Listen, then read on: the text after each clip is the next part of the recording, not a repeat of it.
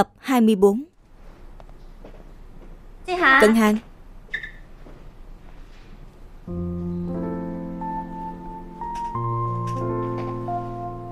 Chuyện triển lãm ảnh. Cảm ơn cậu nha. Không có gì. Là công lao của mọi người thôi. Còn nữa. Cảm ơn cậu đã giúp tôi ở đoàn làm phim. Trước kia tôi luôn có thành kiến với cậu. Tưởng cậu mắc bệnh ngôi sao không kinh nghiệm Là mình hiểu lầm cậu rồi. Thực ra cậu là một diễn viên tốt, kinh nguyện và rất cố gắng. La Lệ Lạp Cô Trần tìm cậu đó.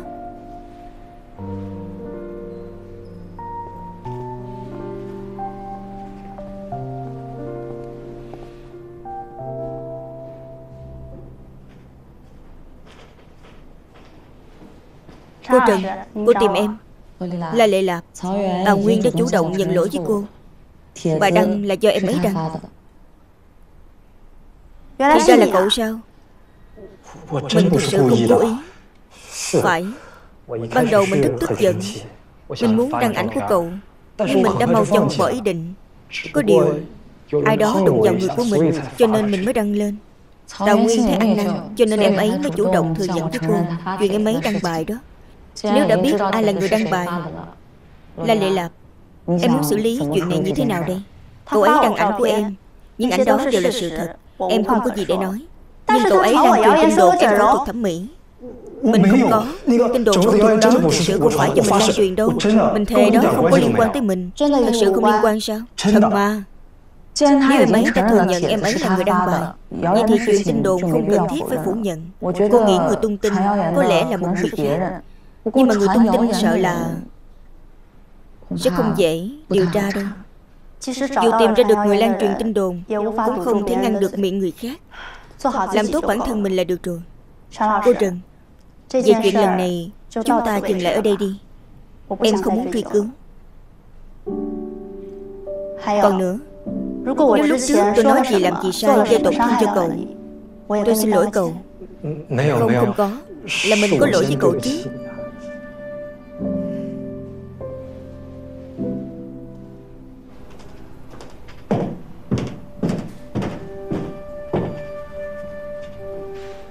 Về chuyện bài đăng đã điều tra rõ ràng rồi. Người đăng bài cũng đã xin lỗi trước mặt bạn La Lệ Lạc Sau này mọi người không được bàn tán về chuyện này nữa. Tập trung tinh thần vào chuyện học Chuẩn bị cho thi khảo sát tháng sau. Được rồi, lấy sách vở ra đi. Tốt quá rồi, cuối cùng đã lộ chân tướng.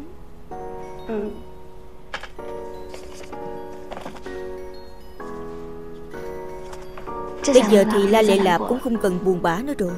Trước kia La Lệ Lạp luôn chỉ mũi nhọn vào cậu. Cậu còn quan tâm cậu ấy sao? Lúc trước cậu ấy còn bôi nhọ cậu mà Sao còn giúp người ta? Mình tùy việc mà xét. Mình cũng tùy việc mà xét thôi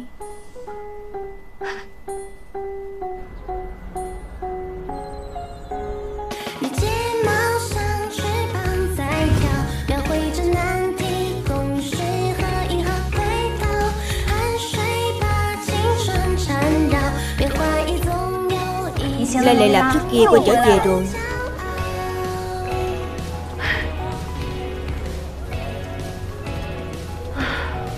Cũng không biết lúc nào Tôn Thâm và La Lệ Lạp mới làm lành với nhau.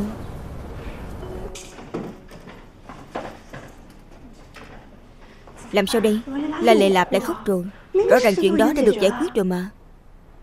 Cô ấy đã đi đâu? Mỗi lần tăng học, cậu ấy đều ra ngoài một chuyến. Lúc về thì mắt sưng lên, Rõ ràng là mới khóc xong. Có phải cậu ấy vẫn chưa nghĩ thông không? Thay vì ở đây đoán bừa Vì bằng đi xem thử đi. Đi.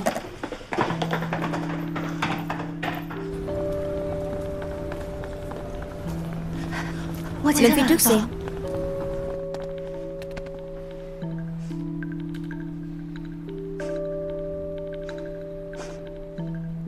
Bố. Đừng có rời xa con. Bố. Đừng có rời xa con mà. Bố. Đừng có rời xa. Con.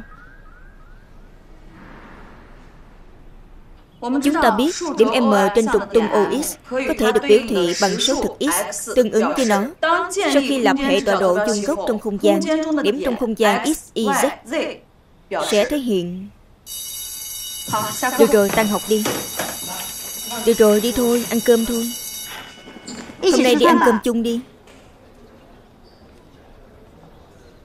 Cậu nói cái gì? Không lẽ là cậu hẹn hằng hạ đi ăn chung? Không có không có. Chúng chỉ mình đã định đi ăn một mình. Vậy cậu không đi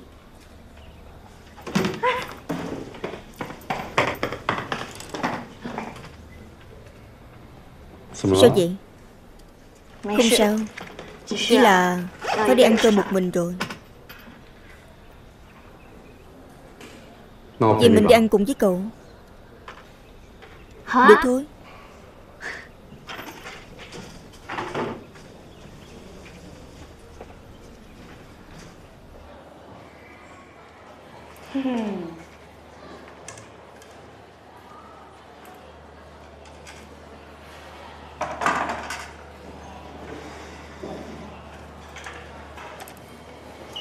Thằng Hạ Là La Lệ Lạp kêu cậu tới ngồi đó. Cậu ấy đã tha thứ cho mình Làm quà với mình rồi.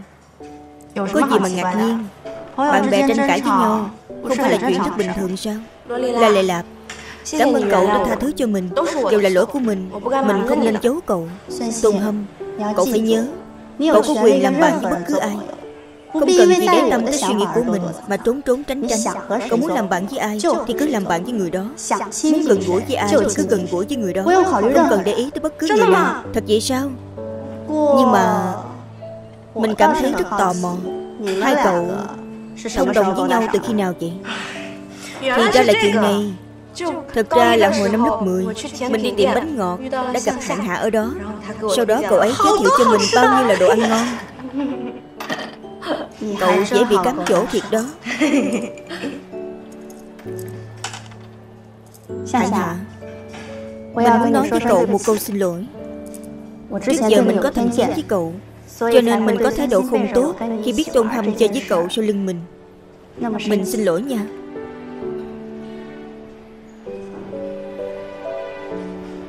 Cậu Xin lỗi mình sao? Về chuyện lần này. Cảm ơn cậu nha nhưng mà Việc này không chứng tỏ mình sẽ thích cậu đâu. Mình giúp cậu Chỉ là chỉ mối quan hệ với Tôn Hâm Cũng là chỉ cậu là bạn chung lớp A7 Chứ không phải để cậu thích mình đâu.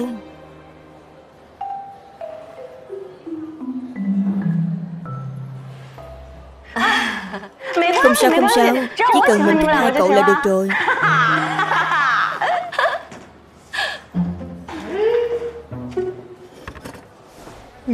Tất cả các cậu Tự nhiên hòa hợp từ bao giờ vậy?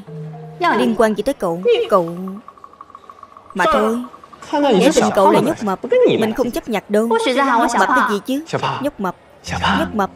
Nhóc mập. Đánh không trúng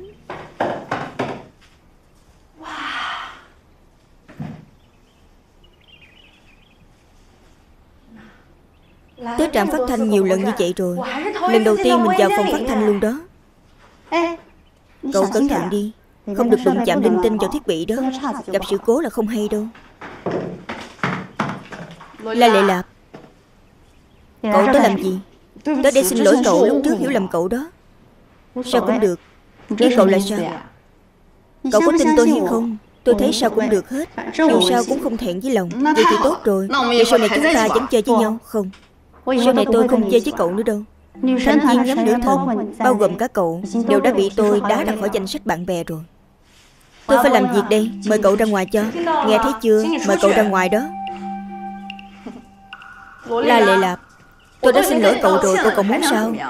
Cậu tưởng mình là ai?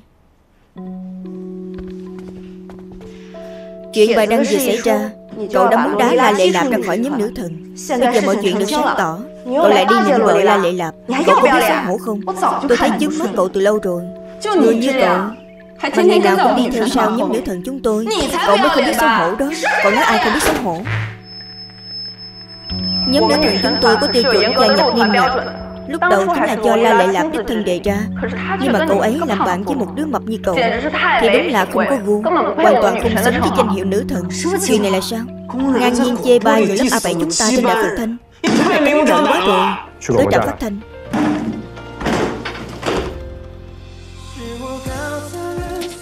Đó chính là lý do vì sao tôi không muốn chơi cùng với các cậu Bạn bè thật sự sẽ không để bụng đối phương mập hay gầy, xấu hay đẹp. Và cũng tuyệt đối không dẫu đổ niềm leo lúc bạn bè gặp khó khăn. Khi tôi rơi vào cảnh khốn cùng. Người không rời bỏ tôi. Luôn luôn ủng hộ và quan tâm tôi. Chỉ có hầm hầm.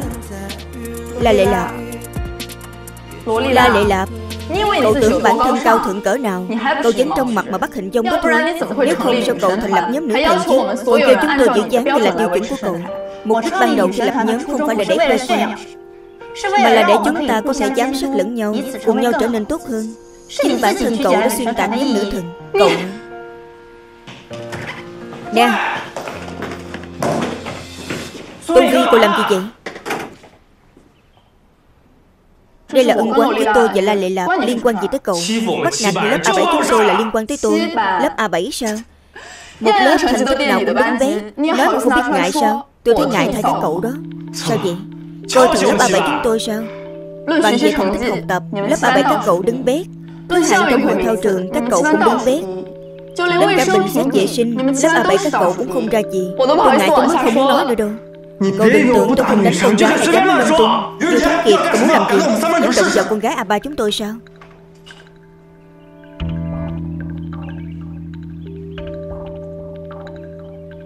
Lưu Thanh Kiệt Người khác coi cậu là đại ca trường số 1 Cậu coi mình là đại ca thật sao?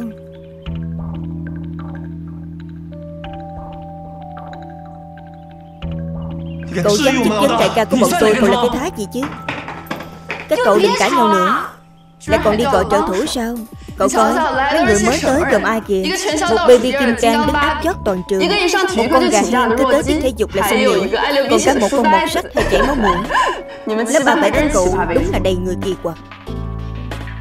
Cậu có thể nhục mạ tôi Nhưng không được nhục mạ thần tượng của tôi. Tôi nói có gì sai không? Mấy cái này đều do La Lệ làm với tôi đó. Các em làm gì vậy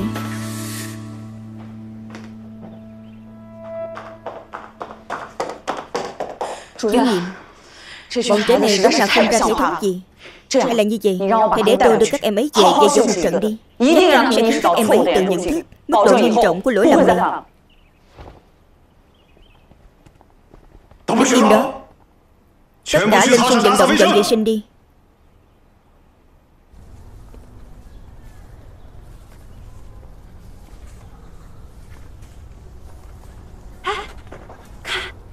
Cận hàng đó Thì ra cậu ấy cũng bị thầy chủ nhiệm phạt. Mau chụp đăng lên Weibo đi Nhanh. Không được chụp Ngôi sao lớn thì có gì là giỏi? Cũng vẫn ở đây chịu phạt cho chúng tôi thôi. Tôn Vi còn đủ rồi đó. Có chuyện gì thì cậu cứ nhầm vào tôi. Đúng là bao qua mồm mép Cận hàng Cho cậu ta biết sự lợi hại của cận chọc giận đi. Cậu đang nói chuyện với ai vậy? Chỗ này ngoài lớp mình ra Còn có người nào khác sao? Không hữu danh là cận chọc giận một câu nói mà chỉ gọn cả lớp A3 Cận hàng Cậu đúng là không coi ai ra gì. Là mùi gì vậy? Khó ngửi thiệt đó. Có phải là ai mới vừa thả bơm không? Lớp cậu, lớp trưởng Bọn họ cố tình thương chúng tôi. Đừng có mất bậy. Nếu như bị thầy giáo dục phát hiện Thì chúng ta bị phạt thêm đó một con gà hen cứ tiết thể dục là xin nghỉ như cậu ra vẻ cái gì Tôn Vi, cậu đừng có quá đáng. Tôi không có nói gì sai. Một thằng con trai như cậu không bằng con gái. Hèn gì hỏi thao năm ngoái các cậu xếp hạng bét Năm ngoái là lớp tôi sơ ý thôi. Đấu lại một lần chắc chắn sẽ thắng các cậu. Nói miệng ai mà không nói được chứ. Được thôi. Vậy chúng ta đấu một trận thi đấu với hai lớp. Xem xem. Ai mới là gà hen Phải đó. Chúng ta đấu thêm lần nữa đi Cho cậu tơi bời tan tác luôn Lớp chúng tôi dành hàng nhất hội thao đó Đấu với hạng bét các cậu Nếu như mà thắng thì cũng đâu có gì dễ dàng Nè Chúng ta còn chưa đấu Nếu thật sự đấu Chưa biết ai thua ai thắng đâu đó Vậy nếu các cậu lại thua thì sao Thua thì tùy các cậu xử lý Như Thánh Kiệt Cậu kích động lên hại chúng ta rồi đó Như vậy đi Nếu lớp các cậu thua Thì bên các một năm cho lớp của tôi Nghĩ hay đó Mình thấy không được Trước khi các cậu nói chuyện Có thể suy nghĩ kỹ được không? Sao? Sợ rồi hả?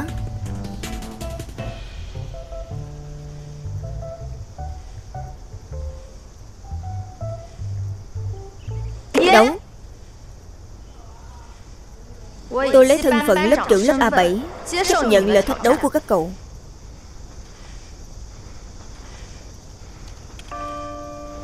Đây là cái giá phải trả khi các cậu phớt lờ sự tồn tại của tôi.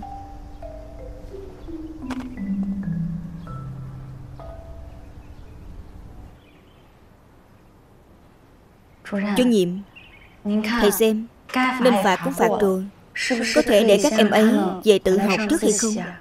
Phải đó. Thầy xem ngoài kia nắng lớn như vậy Lỡ như các em cảm nắng Vậy thì phải làm sao? Nắng lớn tới cỡ nào? Không lớn Không lớn. Tôi chỉ thuận miệng nói thôi. Thầy muốn nghe thì nghe. Không muốn nghe thì thôi Không sao.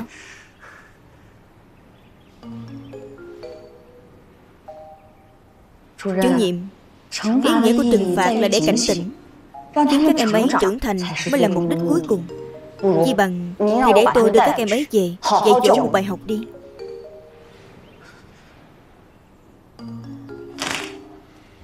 Được rồi Nhưng mà không có lần sau đâu.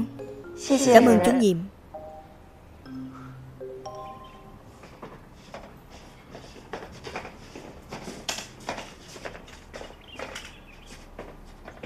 Để đám Du Thánh Kiệt cùng Bân Triệu Minh đi đàm phán với lớp A3 Chuyện thi đấu của hai lớp.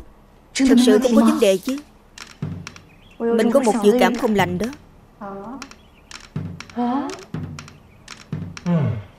Đang đàm phán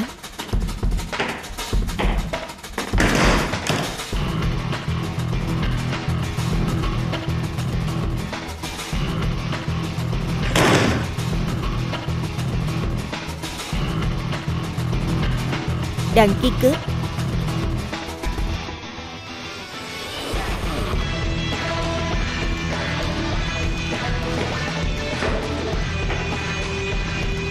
Thư khách đấu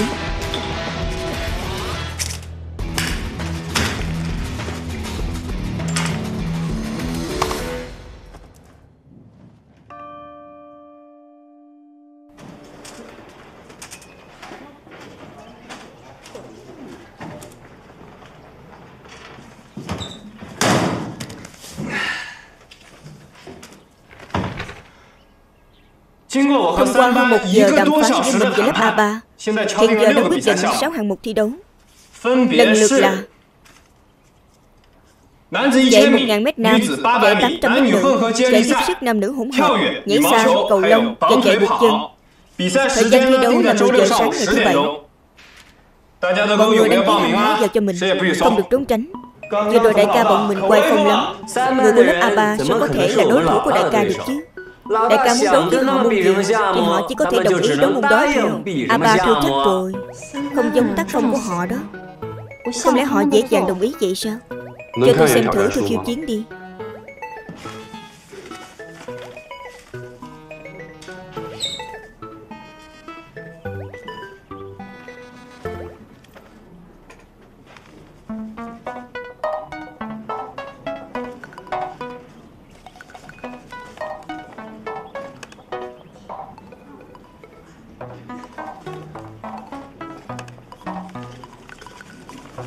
Sao vậy Tôi khiêu chiến này có vấn đề gì sao Vấn đề ở chỗ chia điểm số thi đấu. Tỷ lệ điểm môn chạy một chân nhiều người cao hơn hẳn những môn khác.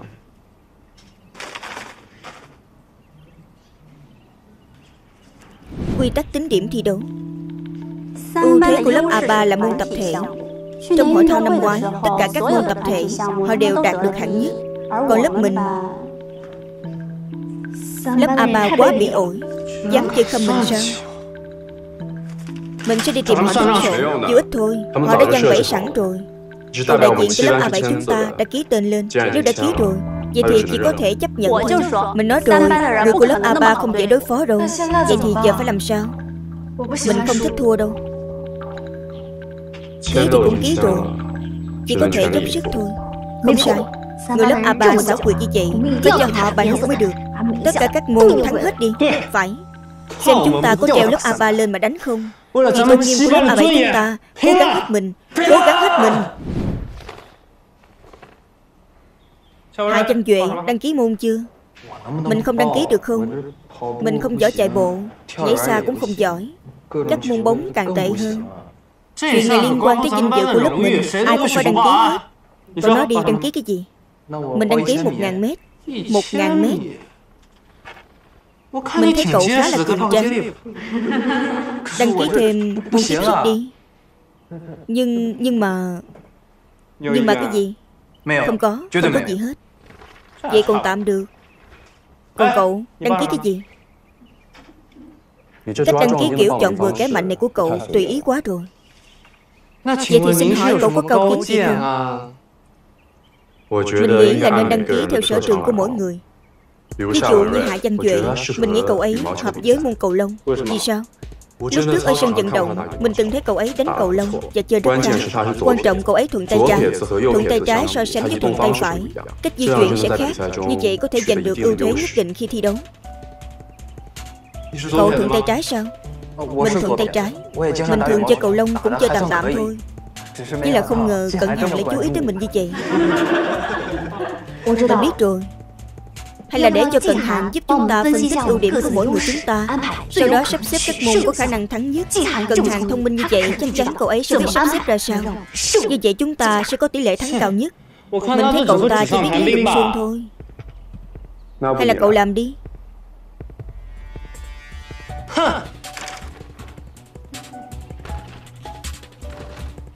Cận Hàng, cậu nói đi mình biết Chạy 800 mét nữa Thử thách tốc độ và sức bộc phát hay là cậu tham gia đi. Không thành vấn đề Môn cầu lông không chỉ thử thách sức khỏe thể chất Mà còn thử thách khả năng phản xạ và khả năng quan sát. Nếu có thể áp dụng chiến thuật phát cầu biến hóa đa dạng Sẽ có thể đánh đầu phủ đầu Chiếm được quyền chủ động. Lai lệ lạp Cậu có năng lực quan sát không tồi Cậu tham gia thi đấu cầu lông đi. Được thôi. Mình đăng ký nghĩ xa Còn về tôn hâm với thể trạng này của mình Mình không đăng ký có được không? Mình sợ liên lụy mọi người. Vậy cậu tham gia hậu cần đi. Không thành vấn đề. Chưa thất kiệt thì mình nghĩ ngoài chạy 800 mét nữa ra Môn nào cậu ấy cũng có thể tham gia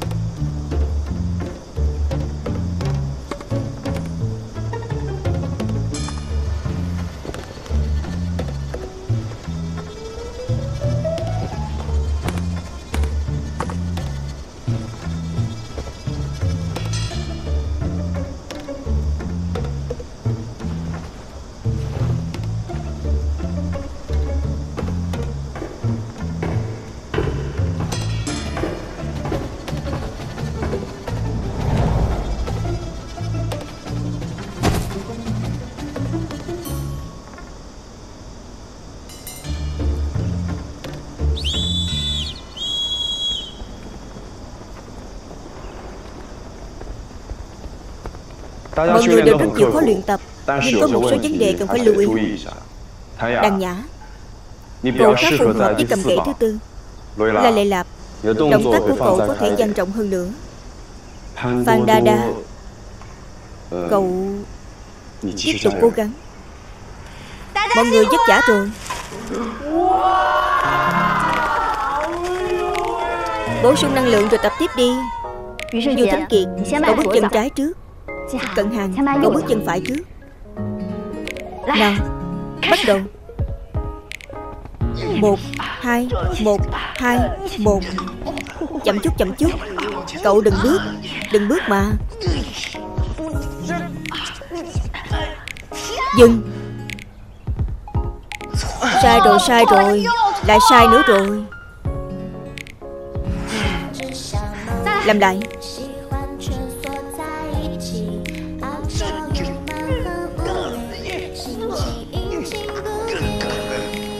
Dừng Cậu ấy bước chân sai rồi Cậu tệ lắm đó. Rõ ràng là cậu sai trước mà. Đúng là cạn lời. Được rồi được rồi. Bây giờ trọng điểm của chúng ta là bồi dưỡng sự ăn ý của hai cậu đó. Chúng ta phải thắng Với cậu ta. Ăn ý sao? Tệ lắm rồi. Cạn lời. Không thể nào.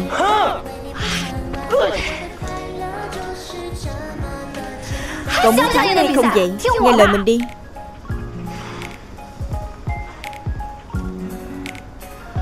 Bây giờ mình nói lại một lần nữa. Chu Thánh Kiệt bước chân trái trước Cận Hàng bước chân phải trước.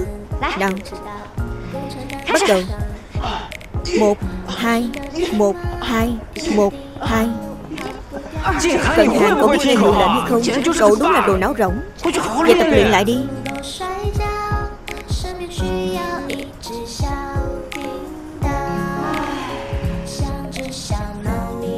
Một hai một hai. Một hai. Một. Một, hai. Một hai. Một. Một, hai. Một. Một, hai. Một. Một, hai. Một. Một, hai. Một. Một, hai. Một. Ờ.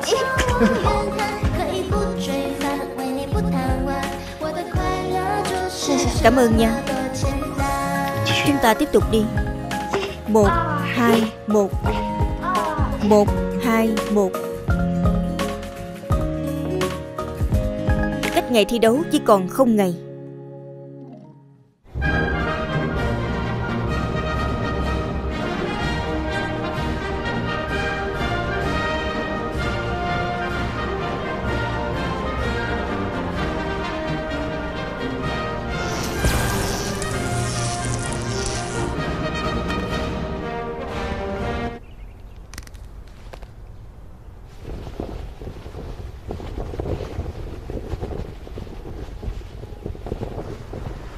Làm càng. Sức hút của thể thao Là để hóa giải mâu thuẫn và tranh chấp. Từ khi có Olympic Các quốc gia đã chuyển chiến trường về sân vận động. Đây là tiến bộ trong văn minh nhân loại đó. Lớp A3 và A7 Nếu bắt buộc phải dùng cách gì đó để hóa giải mâu thuẫn và tranh chấp. Vậy thì thể thao chính là cách tốt nhất Sao vậy? Tôi nói cái gì sai sao? Không có. Chỉ là cảm thấy hôm nay Phải nhìn thầy bằng con mắt khác. Tôi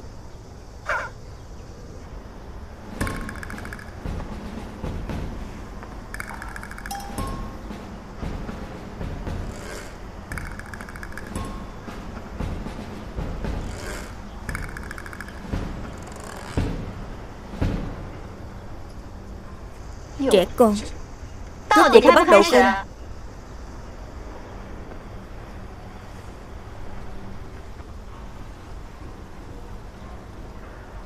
Trận đấu Bắt đầu. Cố lên. Cố lên. Cố lên. Cố lên. Du Thánh Kiệt cố lên. Kiệt tất thắng Cố lên. Chuẩn bị Vào chỗ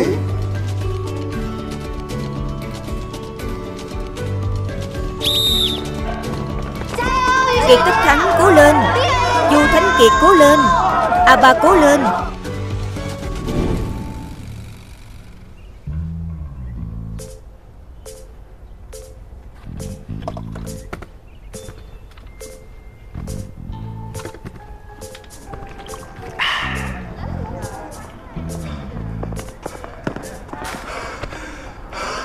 Lâu rồi không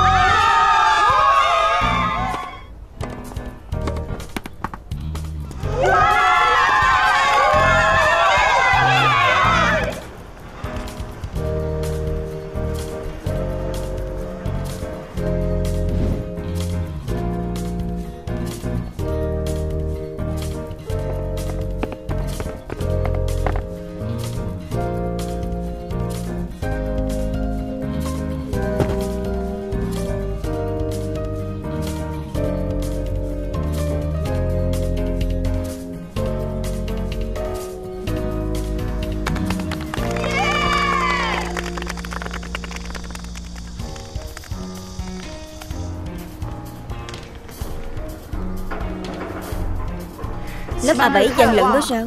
Thắng liên tiếp ba trận rồi phải biết nhìn xa trông rộng. Đừng kỳ kèo được mất nhất thời. Đừng có quên là còn môn mấu chốt quyết định thắng thua. Lớp mình chưa bao giờ thua.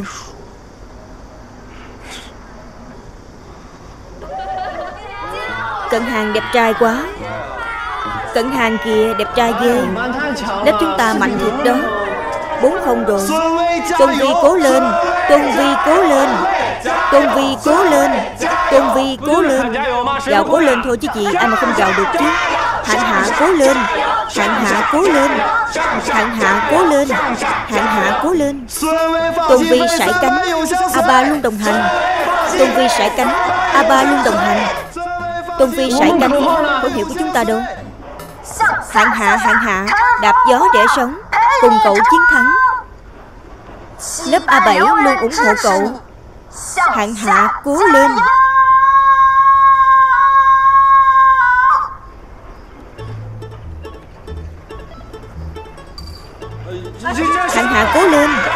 Hạng hạ cố lên. Tùng Vi cố lên. Cố lên. Hạng hạ cố lên. Tùng Vi cố lên.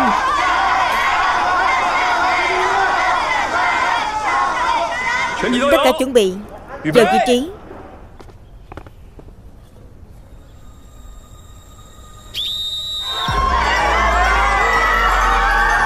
Tôn Vi cố lên. Tôn Vi cố lên. Tôn Vi cố lên Cố lên Oh.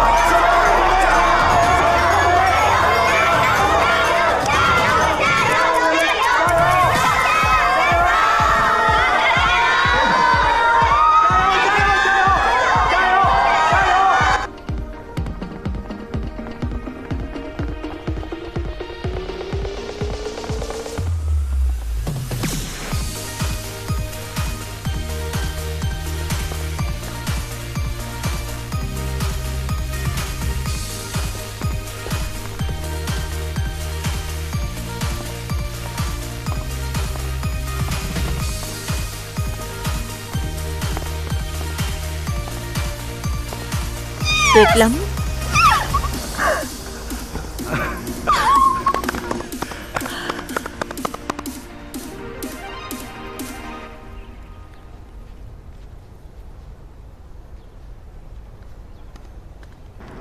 Cảm động chưa? Cảm động tới mức Không dám động đậy luôn đó. Thể hiện tốt lắm Đều nhờ có cậu À không Lấy cậu cùng cổ dụng. Được đó tử kim cang.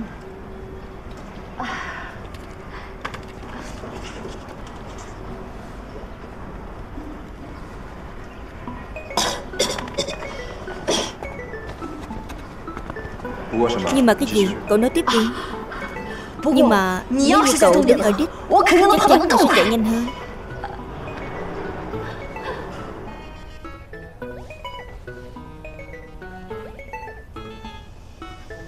Chạy tiếp sức nam nữ hỗn hợp chuẩn bị. Đại ca Đại ca. Không ổn rồi. Đang ngã bị trật chân rồi. Sao